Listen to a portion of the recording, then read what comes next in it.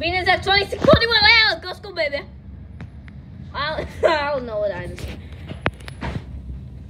Looks like that's the end of the train. Bye.